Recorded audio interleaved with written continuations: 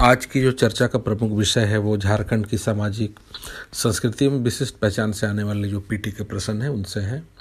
तो इसका जो पहला प्रश्न है कि झारखंड में कितने प्रतिशत लोग गाँव में रहते हैं? तो इसका पहला ऑप्शन है इक्यानबे, दूसरा छियानबे, तीसरा अंठानबे और चौथा निन्यानबे। तो इसका जो सही उत्तर है, पहला इक्यानबे। यानी झारखंड एक ग्रामीण प्रधान जो है वो राज्य है, जहाँ इक्यानबे प्रतिशत जो है वो जनसंख्या गाँव में रहती है। बाकी जो नौ प्रतिशत है वो शहरी जनसंख्या है। अगर आप ऐसे भी यहाँ के इकाइयों को ले, प्रशासनिक इकाइयों को तो उससे पता चलेगा कि झारखंड में करीब बत्तीस हज़ार गाँव हैं पाँच हज़ार के करीब पंचायत हैं। लेकिन जो प्रमुख शहर है वो दो सौ अट्ठाईस हैं। दो सौ अट्ठाईस में भी अगर प्रमुख शहर को ले तो वो बहुत कम है, दस है। और धर्माद देवघर धर्माद रांची और जमशेदपुर ऐसे शहर हैं जो कि दस लाख से ऊपर की जनसंख्या में है। बाकी यहाँ जो जनसंख्या है वो ग्रामीण जनसंख्या है। तो इसका जो पहला उत्तर है इक्यानबे प्रतिशत वो सही है। दूसरा प्रश्न है कि इनमें से कौन सा मिलान गलत है? अब इस प्रकार के प्रश्न के लिए हमेशा तैयार रहना चाहिए, क्योंकि इनमें से कौन गलत है, कौन सही है, या निम्नलिखित में से कौन कथन गलत है, सत्य है सत्य इस प्रकार के प्रश्न की बारंबारता अधिक होती है। तो इसका जो पहला मिलान है, सरहुल पर्व दूसरा, जो इसका पहला जो ऑप्शन है सरुल पर्व इसका मिलान है पहला कि बारपे हिजूरे साले, सालू। दूसरा, मंडा पर्व जिसका मिलान है, जायरे नागफेनी रथचू तीसरा मिल ऑप्शन है कर्मा पर्व जिसका मिलान है धसना कर माटी धसीरे। और चौथा, जैनी शिकार पर्व जिसका मिलान है बेटी जन्म आयो धंगरे। तो ये एक प्रकार से झारखंड के पर्व है और उनमें जो गाए जाने वाले जो विशेष गीत होते हैं तो उसका मिलान है, उसमें से कौन गलत है? तो चूँकि सब गीत को तो जानना यहाँ आवश्यक है नहीं, लेकिन कुछ को आप जान सकते हैं। तो यहाँ जो इसका दूसरा ऑप्शन है मंडा पर्व में, जो इसका मिलान है जायरे नागफेनी रथचू तो ये जो अगर आप यहाँ प्रोसेस ऑफ़ एलिमिनेशन या थोड़ा सा बुद्धि लगाएँ तो ये पकड़ सकते हैं कि ये जायरे नागफेनी रथचू, यानी ये जो रथ शब्द है यहाँ तो आप पकड़ सकते हैं यहाँ की वो रथ मेला से संबंधित है, जो कि विशेषकर जो झारखंड में आपको रथ मेला सभी जगह पर होता है, लेकिन ऐतिहासिक जो है वो जगन्नाथपुर का जो रथ मेला है, रांची का जगन्नाथपुर, जहाँ की जो नाग वंशीय शासक, जो एनिसा थे नागफेनी शासक, उन्होंने यह शुरू कराया था। वो मंदिर भी सोलह सौ इक्यानवे में उन्होंने बनवाया। तो इस प्रकार से ये जो गीत है मंडा पर्व का, वो गीत गलत है ऑप्शन में। सरहुल में जो सालू शब्द है, वहाँ उसे देखिएगा कि साल वृक्ष हैं, सखुआ वृक्ष है, उनकी महत्ता बहुत अधिक है। वहाँ से पकड़ सकते हैं।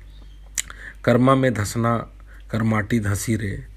तो डाली, मिट्टी, इन सब चीज़ों पर ज़्यादा ज़ोर दिया जाता है। और जनित शिकार, जो कि बारह वर्ष में स्त्रियों द्वारा होता है, मनुष्य की वेशभूषा में तो इसमें बेटी जन्म आयो धंगरीन तो इसमें जो बेटी जन्म के बारे में, यानी बेटी की विशेषता हो, स्त्री विशेषता और महिला सशक्तिकरण एक प्रकार से। यहाँ इसका एक गीत के माध्यम से आप देखेंगे तो एक लंबा लंबा गीत है। अब ऐसा है कि जो आधुनिक सोसाइटी में अधिकतर लोगों को फिल्मी गानों पर अधिक ध्यान रहता है, जो मनोरंजक होते हैं तो इस प्रकार के सांस्कृतिक गीत जो है वो लुप्त प्राय होते जा रहे हैं। तो इस प्रकार के अप्रोच को आप जो है, आप सोचिएगा कि हम पढ़े कहाँ से? तो हमारे जो झारखंड के एक प्रसिद्ध लेखक हैं, चिंतक हैं, गिरधारी राम गोंझू जी, उनकी पुस्तक में जो है, आप इन सब चीज़ों को पढ़ सकते हैं उनके टेक्स्ट बुक में लिखा हुआ है। तो इसका जो दूसरा ऑप्शन है, मंडा प्रभ सही है। अगला प्रश्न है कि हादा पोटा, ठेंगा गपचोवेल घोगो रानी एवं घा, घापी क्या है? तो पहला, झारखंड के मुख्य पकवान, दूसरा झारखंड के लुप्त प्राय गीत, तीसरा झारखंड के लुप्त प्राय खेल और चौथा स्थानीय पवन, यानी झारखंड के स्थानीय पवन। तो इसका जो तीसरा ऑप्शन है कि झारखंड के लुप्त प्राय खेल है। अब हादा पोटा में, ठेंगा गपचोल में ये नाम से अगर आप पकड़ सकेंगे इसको कि छोटे में आप जब इसे खेलते थे, जब बहुत सारे खिलौने नहीं होते थे, पहले ग्रामीण परिवेश में हो तो इस प्रकार से आप चीज़ों को हम खेलते तो थे, लेकिन नाम हमें नहीं मालूम। तब घापी में जैसे अब होता क्या कि बालू के आड़ बनाकर हम कोई लकड़ी का टुकड़ा रखते हैं, उसे खोजते हैं। तो इस प्रकार के खेल अब चूँकि वीडियो गेम्स आ गए हैं, मोबाइल्स आ गए हैं तो इसमें अब बच्चों का आकर्षण वहाँ से हट गया है।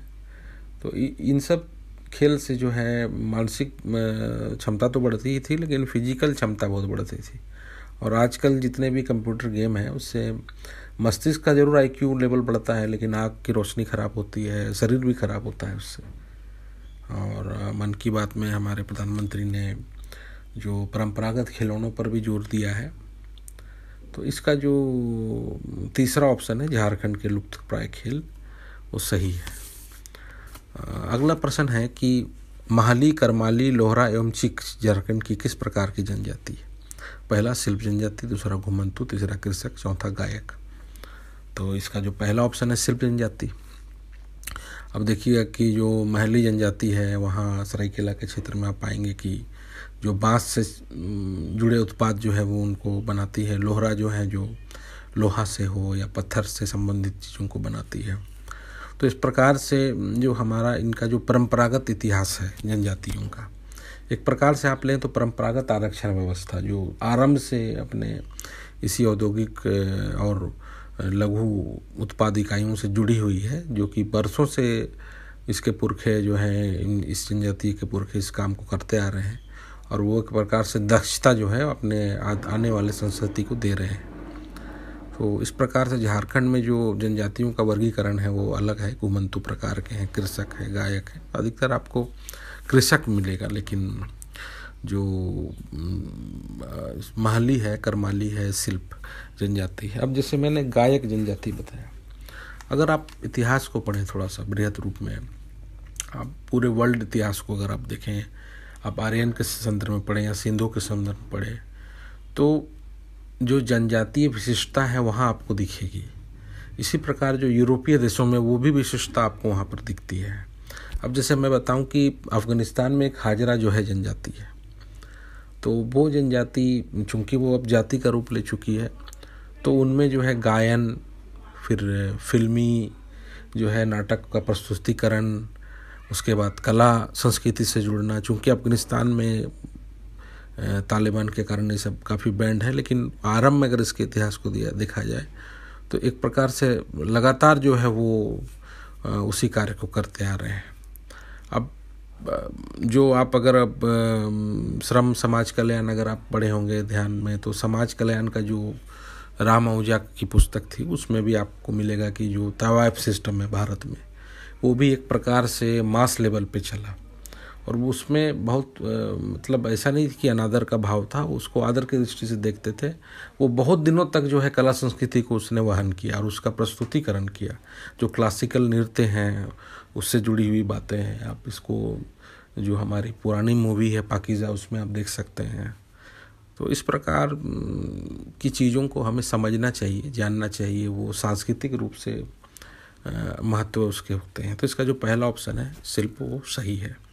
अगला प्रश्न है कि निम्नलिखित में से किस जनजाति में तलाक की प्रक्रिया पत्ते को फाड़ कर की जाती है? तो पहला खड़िया, दूसरा संथाल, तीसरा भूमिज चौथा उराव। तो इसका जो तीसरा ऑप्शन है, भूमिज। और भूमिज में आप देखेंगे कि चूँकि अब तो आधुनिक समाज आ गया है, इसकी प्रक्रिया कोर्ट कचहरी के माध्यम से होती है, लेकिन इनमें जो अपना स्थानीय स्वास्थ्य है, वहाँ पर आपको देखने को मिलेगा कि ये पत्ते को फाड़ कर जो है तलाक लेते हैं, उसकी घोषणा करते हैं। एक प्रकार से ये प्रथा है तो इसका तीसरा ऑप्शन भूमित सही है। अगला प्रश्न है कि देशौली व्यवस्था में किसकी बलि दी जाती है? तो पहला मानव दूसरा बकरी, तीसरा भैंस, चौथा बोदा तो इसका जो तीसरा ऑप्शन है, भैंस, वो सही है। तो दिसौली में बारह साल में जो ये प्रकार से भूत और पुरखों की पूजा है जिसमें कि भैंस की बलि जाती है और उसे उसी स्थान पर गाड़ दिया जाता है। तो इसका जो तीसरा ऑप्शन है, बहस, वो सही है। अगला प्रश्न है कि इनमें से कौन सा मिलान गलत है? तो पहला हथिया मेला, फूस, उसका मिलान है फुसरो। दूसरा नूनबिल मेला, इसका मिलान है दुमका। तीसरा नरसिंह मेला जिसका मिलान है हजारीबाग। और चौथा जगन्नाथ मेला, जिसका मिलान है चाईबासा तो इसका जो गलत मिलान है, वो चौथा जगन्नाथ मेला चाईवासा का है। क्योंकि जो, जैसा मैंने पहले अभी थोड़ी देर पहले बताया कि जगन्नाथ मंदिर का जो रथ मेला है, वो ऐतिहासिक रूप से रांची में जगन्नाथपुर में होता है। काफ़ी बड़ी संख्या में लोग वहाँ शामिल होते हैं। ऐसे छिटपुट मेला तो रथ में आपको हर जगह दिखिएगा चाईबासा में जारीबाग में जमशेदपुर में। लेकिन अगर बड़ा मेला लिया लिया जाए, जगन्नाथ मेला, जिसे राजकीय मेला का दर्जा दिया जाता है तो वो आपको रांची का जगन्नाथ मेला है। और बाकी जो हथिया मेला है, नूनबिल मेला है, नरसिंह मेला है, या दुमका कही जिला मेला, ये भी राजकीय मेला है। तो इनमें से जो चौथा इसका ऑप्शन वो सही है। अगला प्रश्न है कि झारखंड में कितने प्रतिशत लोग ईसाई हैं? तो पहला पाँच, दूसरा नौ, तीसरा ग्यारह और चौथा पंद्रह। तो इसका जो सही उत्तर है वो दूसरा नौ प्रतिशत है। चूँकि अभी अलग सरना कोड में ये सब बातें बहुत सामने आ रही हैं। आगे जाके जब जनगणना होगी तो वहाँ बहुत सी बातों को अलग अलग किया जाएगा। तो कई बार ऐसा यहाँ होता है कि झारखंड की संस्कृति में ये टकरावट देखने को मिलती है कि यहाँ की जो मूल सरना संस्कृति है, जो सनातन संस्कृति है, जिसके लिए अलग पृथक सरना कोट की मांग की जा रही है, क्योंकि वहाँ हिंदू वैष्णव का प्रभाव है उसके बाद ईसाई धर्म का प्रभाव है, और भी बहुत सारे विचारधाराएँ उसका प्रभाव है। तो अधिकतर हम देखेंगे कि हिंदू और ईसाई धर्म का प्रभाव बहुत मिलेगा। तो यहाँ जो मूल अपनी संस्कर सरना की संस्कृति है वो कोड ना होने के माध्यम से और उसमें व्यवस्था होने ना होने के माध्यम से वो लुप्त प्राय होती जा रही हैं।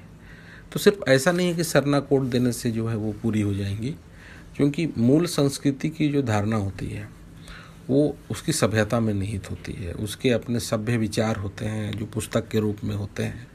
उनमें सभ्य संस्कृति का एक लीडरशिप होता है, नेतृत्व होता है।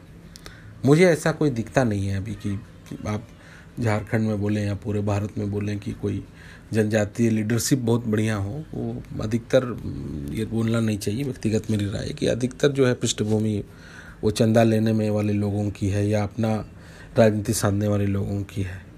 तो ऐसा इसलिए है कि इतना पुराना समाज है, जनजातीय समाज है, उसमें अभी तक वो अगर मांग के लिए उसको लड़ रहे हैं, अपनी चीज़ों की को व्यवस्थित करने के लिए, कोर्ट के लिए तो बड़ा दुर्भाग्य की बात है। तो उसमें चिन्हित करना है इन सब बातों को। तो अपने जो मूल संस्कृति में ऐसा ना हो कि आने वाली संस्कृति जब आएगी, आने वाला जो भविष्य होगा, वहाँ ये सरना ही लुप्त हो जाए, लोग अधिकतर ईसाई बन जाए या हिंदू धर्म में मर्ज हो जाए या किसी भी विचारधारा को अपना ले। तो ये जो प्रश्न है, इससे बहुत बातें सामने आती हैं मेंस के दृष्टिकोण से तो इसका जो दूसरा ऑप्शन है नौ प्रतिशत वो सही है। अगला प्रश्न है कि हिंदू भाद्र पक्ष मास माह में कौन से जनजातीय पूजा होती है। पहला कर्मा, दूसरा सरुल तीसरा माघ है, और चौथा जो है सोरहा सोहराय। तो ये प्रश्न जो है, चूँकि जेपीएससी में जो है वो पूछा जा चुका है तो इसका जो सही उत्तर है वो कर्मा है। क्योंकि कर्मा जो है, आप उसको देखिएगा कि वो भादों के जो है समय जो है आता है। क्योंकि हिंदू का जो भाद्र पक्ष है, उस समय जो है या त्यौहार झारखंड में जनजातियों द्वारा जो है वो मनाया जाता है। और इससे बहुत बृहत स्तर पर जो है पाएँगे कि यहाँ जो है लोग इसे मनाते हैं। इसमें देखने को हमें मिलता है कि जो सुबह से शाम खेतों पर जो हल जुताई है हो या बुनाई रुपाई निकाय में जो लोगों का बीत जाता है समय तो उससे जो है एक प्रकार से जो भादों में, यानी भादों का कादो आप सुनिएगा, सड़क बनाया है तो भाद शुक्ल पक्ष जो तृतीया है तो उस समय जो है ये त्यौहार आता है, उस समय तीज का भी त्यौहार आता है। तो इस समय बहुत सारे जो है वो गीत गाए जाते हैं। और धूप धुवन दीप जलाकर जो है वो भक्ति भाव जो है वो इसमें जो है वो पेश किया जाता है। और कर्म कथा यानी कर्म का संदेश है, उसके माध्यम से जो है लोगों को संस्कृति से अवगत कराया जाता है। जो कथावाचक होते हैं वो, उसके पीछे जो है पुरानी कहानी बताते हैं, कर्म की डाली के महत्व को स्थापित करते हैं। तो इस प्रकार जो इसका जो सही उत्तर है वो पहला कर्मा है। अगला प्रश्न है कि झारखंड की किस जनजाति में गोत्र नहीं होता है? तो पहला बिंजिया दूसरा पहाड़िया, तीसरा चीक चौथा गोंड। तो इसका जो दूसरा ऑप्शन है, पहाड़िया।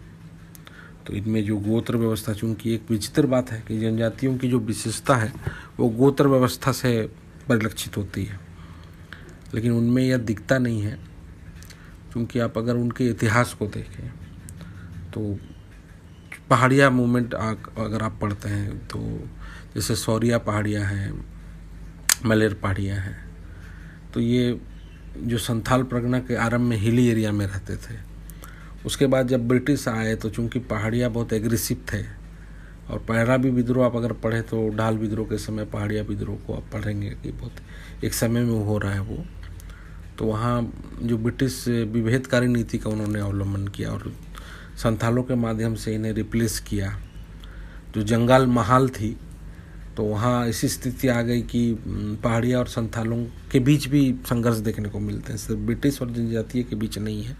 थोड़े अगर उसको इतिहास को आप टेक्स्ट बुक में पढ़ें, जैसे जो वीर तलवार की पुस्तक हैं, या झारखंड की समर गाथा या गिरधारी राम गोंजू की पुस्तक है, या वीरोत्तम की पुस्तक है तो वहाँ वो संघर्ष आपको दिखेगा।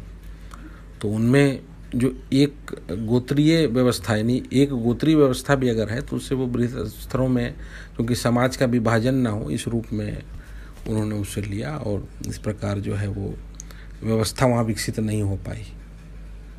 तो इसका जो दूसरा ऑप्शन है, पहाड़िया, वो सही है।